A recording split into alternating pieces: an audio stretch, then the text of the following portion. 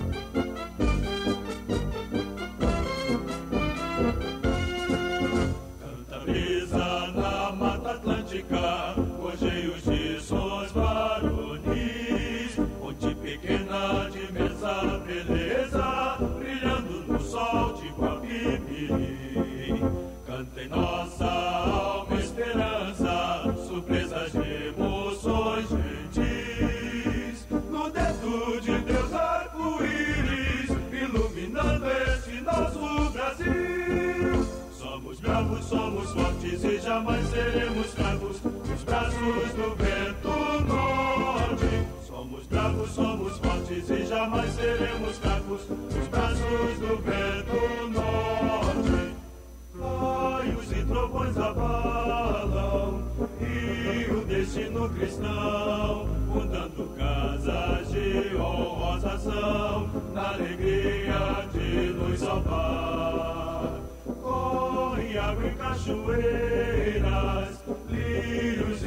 manguezais E o dito que é popular Quem bebe água de guapi solta o ah, Porque somos bravos, somos fortes E jamais seremos fracos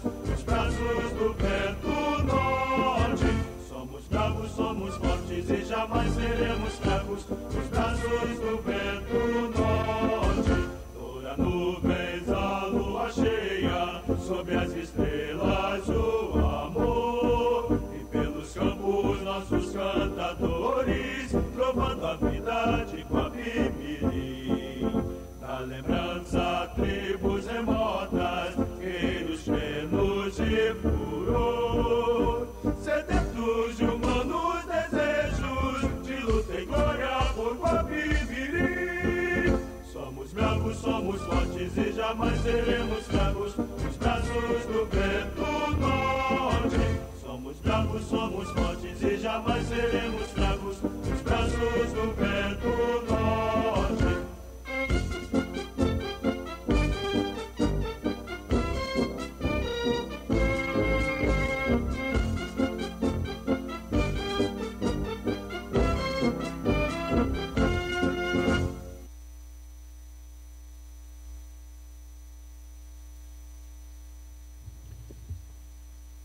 Sob a proteção de Deus, dou por iniciada a 11ª sessão ordinária do primeiro período do 27º ano. Passa a palavra ao segundo secretário, vereador Magal, para que faça a chamada dos nobres edis.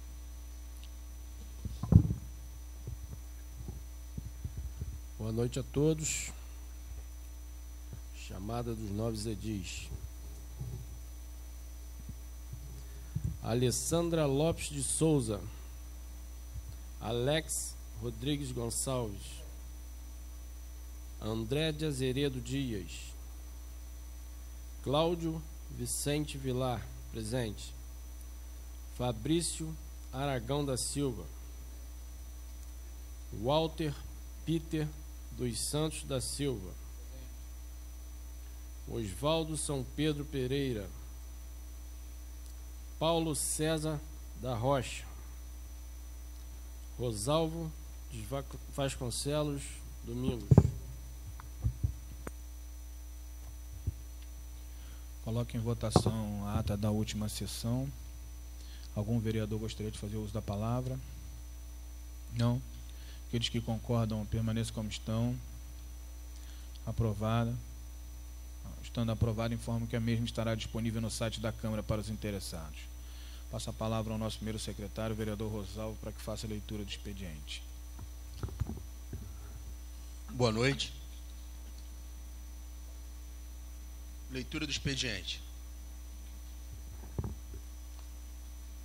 Projeto de Lei 1386. Autoria: Poder Executivo. Abertura de crédito adicional suplementar por excesso de arrecadação. Projeto de Lei 1387. Autoria: Poder Executivo. Dispõe sobre a autorização do Poder Executivo a filiar-se como associado da União dos Dirigentes Municipais de Educação do Rio de Janeiro e a pagar as respectivas anuidades da outras providências. Projeto de Lei 1388. Autoria: Poder Executivo. Altera o parágrafo 1 do artigo, artigo 4 da Lei Municipal número 854, 16 de abril de 2015, para dispor sobre o Conselho Tutelar de Guapimirim e da outras providências. Ofício número 65, autoria Poder Executivo. Solicito urgência no projeto de lei 1388. Projeto de lei 1389, autoria vereador Peter. Altera o artigo 1 da lei número 521 de 6 de maio de 2005 e da outras providências. Projeto de Lei 1390, autoria, vereador Magal, dispõe sobre a implantação de comedouros e bebedouros para animais de rua no município de Guapimirim e da outras providências. Indicação 212, autoria, vereador César, para que o Executivo Municipal, por meio da Secretaria Municipal de Obras e Serviços Públicos, providencie a reforma e pintura do posto de saúde do bairro Quinta Mariana. Indicação 213, autoria, vereador César, para que viabilize junto à Secretaria Municipal de Obras, desculpa, para que viabilize junto à Secretaria Municipal de Educação uniforme e materiais escolares para os alunos matriculados na rede pública do municipal. Indicação 214, autoria vereador César, para que o Executivo Municipal, junto à Secretaria Municipal de Saúde, providencie a regularização dos médicos plantonistas no Hospital Municipal José Rabelo de Melo, pois os mesmos se encontram sem plantonista durante alguns dias da semana. Indicação 215, autoria vereador Osvaldo, para o Poder Executivo, através da Secretaria Municipal de Obras e Serviços Públicos, providencie saneamento e asfaltamento urgente para a Rua Esperança, localizada no bairro Parque Santa Eugênia. Indicação 216, autoria vereador Osvaldo, para o Poder Executivo, através da Secretaria Municipal de Obras e Serviços Públicos, providencie retirada de entulho ao longo da rua Sargento Mendes, próximo à Praça Niterói, localizada no bairro Centro. Indicação 217, autoria, vereador Osvaldo, para o Poder Executivo, através da Secretaria Municipal de Obras e Serviços Públicos, providencie manutenção de toda a calçada da rua Sebastião Pereira de Souza, localizado loteamento Quinta Rosângela. Indicação 218, autoria, vereador Fabrício, para o Poder Executivo, providencie através da Secretaria Municipal de Obras e Serviços Públicos, asfaltamento e caixas de esgoto na rua Orílio Piccoli, próximo ao bairro Segredo. Indicação 219, autoria vereador Fabrício. Para o Poder Executivo, providencia através da Secretaria Municipal de Obras e Serviços Públicos, lixeira na Praça Homero Florenzano, na rua Presbítero Oscar Lopes, no bairro Jardim Guapimirim. Indicação número 220, autoria, vereador Fabrício. Para o Poder Executivo, providencie junto aos órgãos competentes um posto de saúde no bairro Várzea Alegre, pois os moradores se deslocam para os bairros Vila Olímpia e Vale das Pedrinhas para serem atendidos. Indicação 221, autoria, vereador Peter. Para providencie junto à Secretaria Municipal de Obras e Serviços Públicos Reparo iluminação pública na rua Petrônio Pacinto, no bairro Quinta Mariana. Indicação 222, autoria vereador Peter. Vai providencie junto à Secretaria Municipal de Obras e Serviços Públicos, roçado em toda a extensão da Estrada Imperial. Indicação 223, autoria vereador Peter. Para providencie junto à Secretaria Municipal de Obras e Serviços Públicos, roçado ao longo da Avenida do Sol, no bairro Vila Olímpia.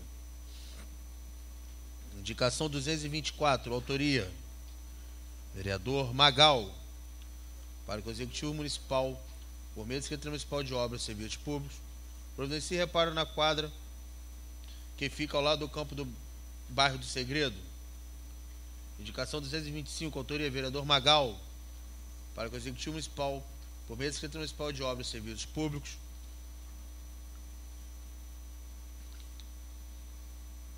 e-mail da Secretaria Municipal de Obras e Serviços Públicos, providencia retirada de entulho na rua Manuel Carvalho, próximo ao número 289, no bairro Paiol. Indicação 226, autoria vereador Magal. Para o Executivo Municipal, por meio da Secretaria Municipal de Obras e Serviços Públicos, providencia retirada de entulho na rua Afonso Pena, próximo ao número 79, no bairro Parque Santa Eugênia. Indicação 227, autoria vereadora Alessandra para que providencie junto à Secretaria Municipal de Obras e Serviços Públicos, reparo iluminação pública da rua José Furtado da Costa, altura do número 320, no bairro Jardim Guapimirim. Indicação 228, autoria, vereadora Alessandra, para que providencie junto aos órgãos competentes, reforma da creche Jardim Guapimirim, pois segundo os relatos das mães, a mesma estão se reunindo para fazer mutirão e reformarem a creche. Indicação 229, autoria vereadora Alessandra. Para providenciar junto aos órgãos competentes. Reconheço como ponto turístico a servidão que dá acesso ao Rio Soberbo, no bairro Barreira, localiz, localizada adjacentemente às instalações da concessionária Fonte da Serra. Indicação 230, autoria vereador Leleco. Para o Poder Executivo, através do Secretaria Municipal de Segurança e Ordem Pública Defesa Civil, Providencie guardas civis municipais e sinalização próxima à escola. C no Centro Educacional Imperial e CA, Centro Educacional Alves Rocha, para que organize o trânsito. Indicação 231, autoria vereador Leleco. Para que providencie junto à Secretaria Municipal de Obras e Serviços Públicos. Limpeza na rua Benedito Norberto Pupo, no bairro Parada Modelo. Indicação 232, autoria vereador Leleco. Para que providencie junto à Secretaria Municipal de Obras e Serviços Públicos. Poda das árvores na, nas vias públicas do centro de, do município. Indicação 223, autoria vereador André. Para que o Poder Executivo, através da Secretaria Municipal de Saúde, construa um posto de saúde no bairro Cotia, onde poderá atender também os moradores do bairro Inconha. Indicação 234, autoria vereador André. Para o Poder Executivo,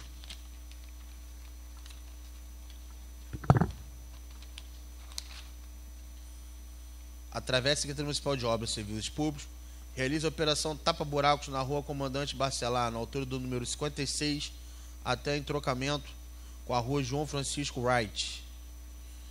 Indicação 235, autoria vereador André. Para o Poder Executivo, através da Secretaria Municipal de Obras e Serviços Públicos, realiza a operação Tapa Buracos desde a Avenida Ita até o entrocamento com a RJ 122 em parada modelo.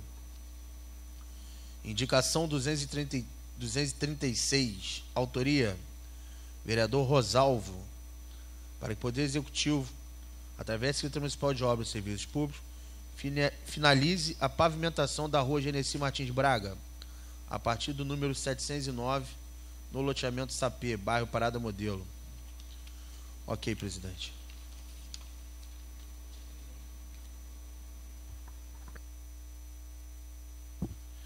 Obrigado, vereador Rosalvo. É, passa a palavra aos nobres edis. Algum vereador gostaria de fazer uso da palavra? Vereador Leleco? Não? Vereador gostaria? O... Boa noite a todos, senhor presidente, caros edis, público presente, com a graça de Deus, dou graça por mais uma sessão plenária. Queria parabenizar a casa, ao senhor presidente, a todos que estiveram presentes no Câmara Itinerante, sabendo que foi de grande sucesso e eu não pude estar presente por motivo pessoal, mas fiquei sabendo que as demandas, os secretários também estiveram lá, o secretário de saúde, muito importante a presença deles, e fiquei sabendo que foi um grande sucesso. Parabéns mais uma vez, a casa está de parabéns, tá? Uma boa noite a todos. Obrigado, vereador Leleco. Vereador Fabrício, vereadora Alessandra, Rosalvo, Magal. Não tendo mais matéria para o expediente, nem quem queira mais fazer uso da palavra, vou dar início à ordem do dia. Coloco em votação o ofício número 065-19, de autoria do Poder Executivo, o qual solicita urgência do projeto de lei 1388. Aqueles que concordam permaneçam como estão. Aprovado em única discussão.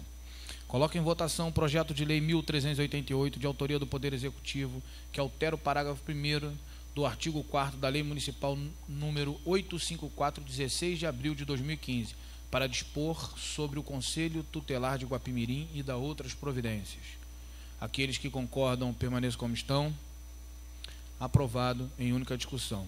Coloco em votação o projeto de lei número 1382, de autoria da mesa diretora, o qual dispõe sobre a concessão de 13º salarial aos agentes políticos legislativo municipal de Guapimirim e da outras providências. Aqueles que concordam permaneçam como estão. Aprovado em segunda discussão. Coloco em votação o projeto de lei número 1385, de autoria do vereador André Azeredo Dias, que institui o Dia do Produtor Rural no município de Guapimirim e da outras providências. Aqueles que concordam permaneçam como estão. Aprovado em segunda discussão. Coloco em votação o requerimento número 017-19, de autoria do vereador Oswaldo São Pedro Pereira. Aqueles que concordam permaneçam como estão aprovado em única discussão. Nada mais havendo se tratado e não havendo mais matéria para a ordem do dia, dou por encerrada a nossa sessão. Convido a todos para a próxima sessão ordinária, que será no dia 14 de maio, às 10 horas, nessa Casa Legislativa. Obrigado a todos, fiquem todos com Deus.